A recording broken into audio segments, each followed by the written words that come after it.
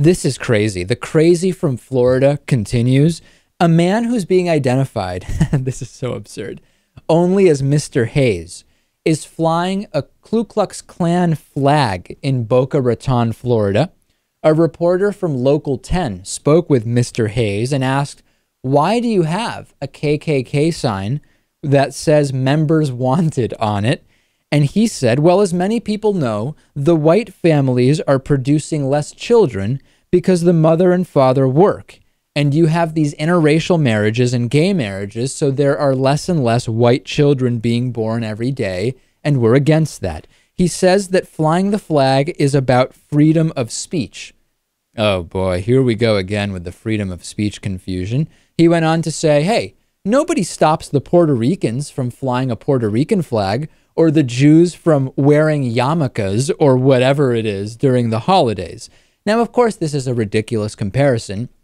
Mr. Hayes may not be swayed by logic, but I will tell you that the KKK flag, unlike the Puerto Rican flag or a yarmulke, is not related to a nationality nor a religion. It's a flag related to a hate group seeking to affirm its white racial dominance and white supremacy. So the analogy is bogus. Mr. Hayes, I can't believe I'm calling him that, that's the only name we have for him. Mr. Hayes claims that the response to the flag has actually been overwhelmingly positive. He says, We don't get anybody throwing bottles on the lawn or anything like that. They toot their horn, they stop, they wave, they take pictures.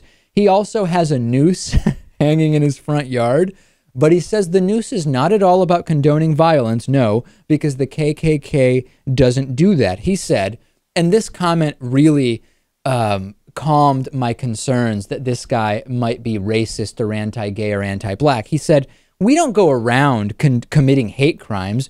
We don't beat up on faggots or, or black people or burn crosses or any of that nonsense. I'm, I'm glad he cleared that up.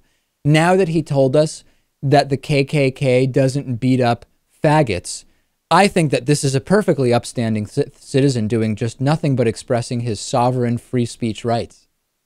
Yeah, there's, uh, I mean, this is all over the place in Florida, all, all, over the place in this country, really.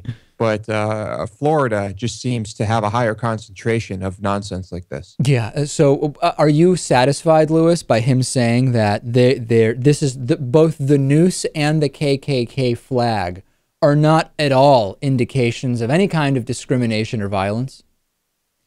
Well, uh, I guess we have to take him at his word that he doesn't go around beating people up, at least not until he does. Uh, but uh, I still consider him to be incredibly racist and bigoted. Of course, how could you not? I'd love to talk to some of the people he says are waving and beeping their horns and, and just thrilled with what he's doing. Those are neighbors I would like to talk to in Boca Raton, Florida. I actually have a, like a great aunt by marriage who lives in Boca Raton, Florida. And uh, I, I wonder what she would think of this. I wonder if she's one of the people cheerleading. Somehow, I think not. Let's take a break. Coming up today, we have Hatriot Mail we will talk about self professed homosexuality and so much more. Glad you're with us on a Wednesday. Big, big show coming up today.